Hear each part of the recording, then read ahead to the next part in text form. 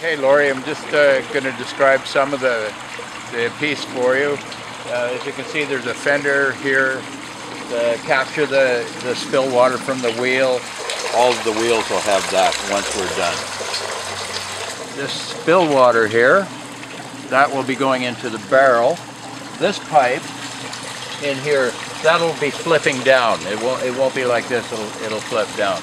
Up here at the top, of course, that'll, uh, that'll be sitting right at about the level that the eavestrough downcomer pipe is. The downcomer pipe will go right into the tuba, capture the water, and also uh, there's a pumping system involved so that the uh, fountain will run when, uh, uh, when it's not raining.